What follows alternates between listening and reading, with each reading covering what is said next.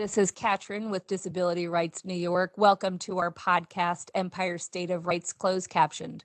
We are here to bring you information on the most relevant topics regarding disability rights and advocacy.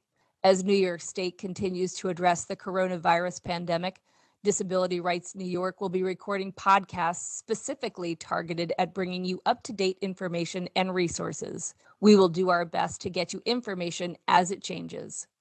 If there is a topic you would like us to address, please comment below or email us at podcast at drny.org. Today, we welcome DRNY staff attorney Jennifer Feeley to discuss how to access special education during the coronavirus pandemic. Jennifer, how are you doing today? Hi, Katrin. Um, I'm well. Thank you for having me. So, special education has been in the news as soon as we went online with education, and New York State is looking at how are we addressing online learning, uh, remote learning, distance learning. There's a lot of different terms that people are using to address it, and along with this is coming a whole other topic, which is how are we addressing special education? And so let's start by talking about distance learning, and that's what we'll call it for this podcast. How's it being used in New York State right now during the COVID 19 pandemic? So, distance learning, as you mentioned, is the phrase that you know you're really hearing, and districts are reaching out to parents and families to try and provide distance learning while kids are not able, the students are not able to come into the schools. So we see this in a variety of ways. A lot of it is through electronic means, providing parents with access to um, materials via email, through the internet, on the school's website. Um, Google Classroom is something that a lot of teachers are using, providing day to day breakdowns of lessons that parents can be doing with their students during the day. That's driven by the teachers. So the teachers themselves are working on all of these materials and then uploading them and providing them over to the parents and the students. And so, are students still entitled to special education services while schools are closed? Yes. So, the laws protecting the rights of special education students such as the Individuals with Disabilities Act, Section 504 of the Rehabilitation Act. You'll just often hear those referred to as the IDEA or Section 504 and the Americans with Disabilities Act or the ADA still apply during this time. Uh, school districts are still required to provide students with, you know, what we call free and appropriate public education under these circumstances. But if a school district is not providing any distance learning to the general education population, they're not then required to do so for students receiving special education. That said, districts should be providing the distance learning as best as they can to everybody um, and complying with the rights of special education students as well. Important distinction there. There are some schools that are not set up right now to be doing distance learning. Is that correct? So I can't speak to every district, but you know, there has been a lag naturally in terms of being able to get everything up and running. So I know some of what we'll talk about a little bit too is, you know, districts are trying to do their best to make sure that all students have access to the technology that they need, that teachers have enough time to prepare lessons and materials. So there has been somewhat of a lag, you know, in terms of districts maybe being able to get up and running. I think as now we're getting into additional weeks of this, we're starting to see more and more districts really roll out as best they can, you know, more set schedules in terms of the learning.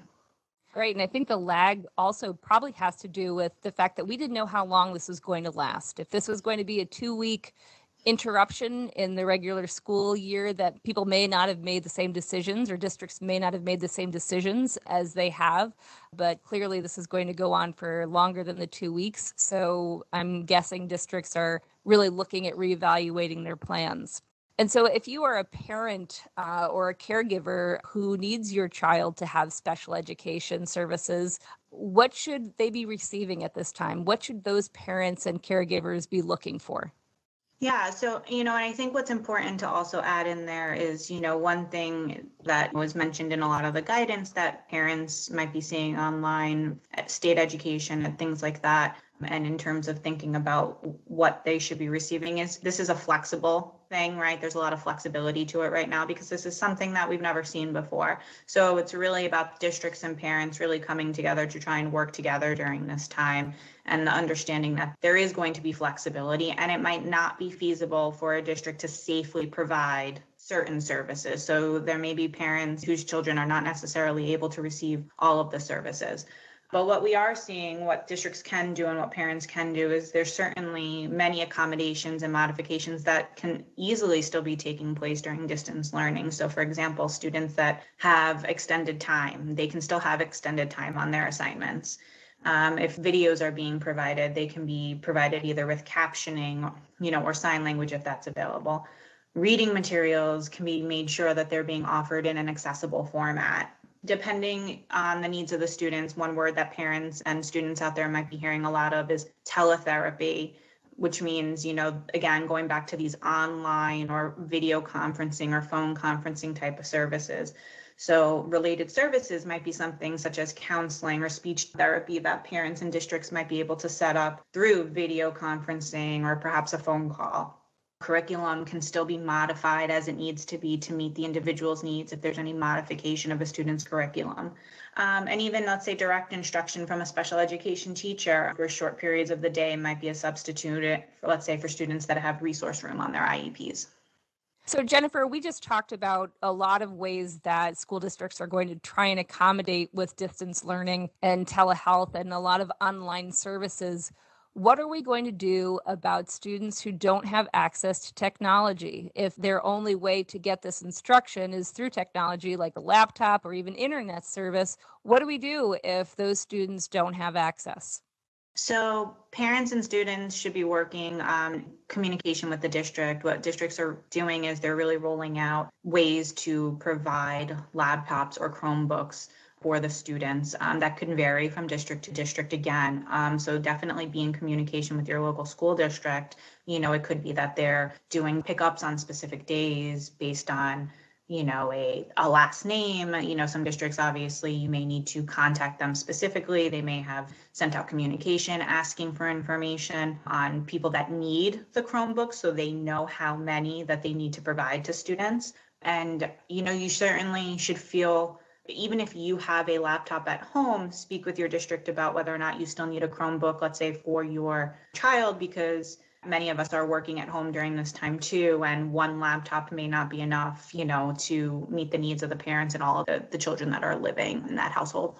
Right, in case someone needs to be sharing a laptop, or if there's multiple children and spouses in the house that need to use one laptop, clearly there would be a need for another piece of equipment we just talked a lot about communication and communicating with your district. What do we do if English is not the primary students or families language? Is there a requirement for schools that are sending information out that it comes out in other languages? So there's always an ongoing conversation about parents having, you know, the right or the need to receive information and communicate with the school district um, in their native language.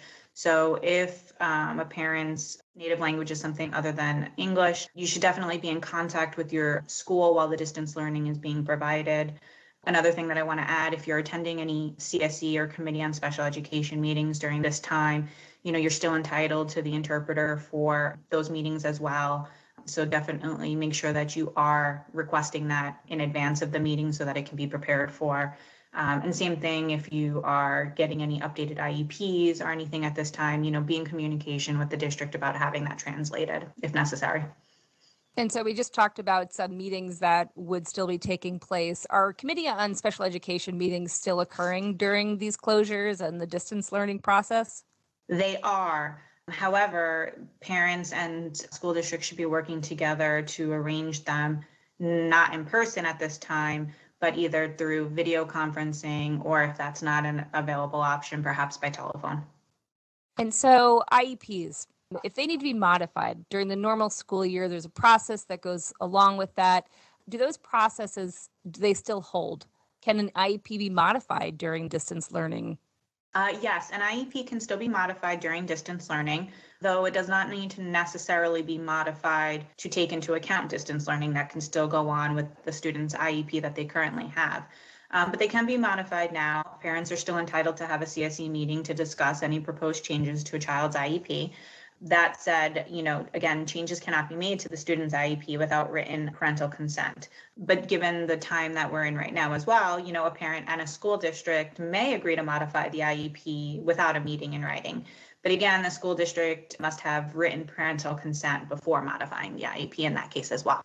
So let's talk a little bit more about accessibility requirements for distance learning uh, with their instructions and materials. What is required for each district? So if a district is providing materials, if they're written or they're online, students have to really have equal access to it. So they need to still be accessible. But again, that comes with some flexibility. So whether it's a completely accessible document or online resource, or is there an alternative method um, for the student to access it? And so, Jennifer, let's talk about standardized tests, whether it's Regents or any of the middle school tests that need to be done. Are students still required to take these during this shutdown? So, there has been a suspension of a number of state exams during this time uh, grades three through eight for ELA and math, grades four and eight for science, grades kindergarten through 12 for the English as a second language achievement test and the New York State alternate assessment for grades 3 through 12 have all been suspended. So, some students may not want to know the answer to this, but will students be entitled to compensatory education for missed instruction and services? I mean, is there a chance that summer school may become part of the school year this year? So, whether that's for all students, I don't know. Um, specifically for students with special education, um, if they're entitled to compensatory education, that answer really is maybe, right? So this is going to be assessed on an individualized case by case determination. Parents should be keeping track of all the services received and missed during this time. But a school cannot simply refuse to provide any special education um, if distance learning is being provided. So remember though, again, like we talked about before, flexibility is permitted with the services and education where necessary. Um, so it may take time for school district to get set up, the distance learning and the parents and districts really need to continue to work together on that. But they may be able to, they may be entitled to compensatory education. And so, if parents are wondering about compensatory education, is this something that the IEP team will consider or determine as part of this process? Is this where those decisions will be made? Um, possibly. It's one place that that decisions can be made. Uh, the IEP team, you know, everyone should be working together. So there are some things, let's say, that uh, the team should be considering in determining if compensatory education is appropriate um, or even if there needs to be changes to an IEP once a student is back in school. So some of those things can include, you know, did the student receive instruction and related services during the school closure? Were other students receiving instruction, um, including the general education students? Is there accurate documentation of the services that the student did receive? And did the student regress in any skills as a result of the missed education? And so I'm sure that uh, our audience full of parents are going to want to know who can they contact with questions. I'm sure the questions are going to be many and cover many topics. So who can they contact about questions that have to do with distance learning during the pandemic? Parents should first contact their child's school district for questions specific to their child's this could be their child's teacher, principal, the school psychologist, or the special education director. Uh, you can also contact New York State's Education Department. Uh, general educations can be sent to COVID 19 at nysed.gov. Um, and we'll have some of this information up on our website for parents to access as, as well. And special education questions can be sent to speced at nysed.gov. Parents can also go to the New York State Education Department's website for current information and guidance. And your child's uh, local school district's website may also have additional contact information or instructions specific to their district, such as staying on top of when school may or may not resume. A lot of districts, uh, as we talked about earlier, are closing almost for two week intervals, where other districts are closed for longer periods of time. So, definitely, you know, uh, your local school district will also have information. And so, along with those resources, if parents can't get their questions answered, is DRNY still a resource that parents can reach out to? Absolutely. Um, you know, we are still up and running while all of this is happening. And depending on the facts of your situation, we may be able to provide assistance. So I would just encourage any parents, students, advocates, they can contact our intake department. We will be listing the resources that you gave us in the description of the podcast. And thank you so much for your time today. Thank you. Empire State of Rights Closed Captioned has been brought to you by Disability Rights New York, your source for disability rights and advocacy. If you enjoyed our program, make sure to subscribe, like, and share this post. If there is a subject you would like us to discuss, please email podcast at drny.org or comment below. Tune in next Wednesday where we'll bring you more information on disability rights in the state of New York. The closed caption version of this podcast is available on our YouTube channel. To listen to more Empire State of Rights closed captioned, follow us on Apple Podcasts and Spotify.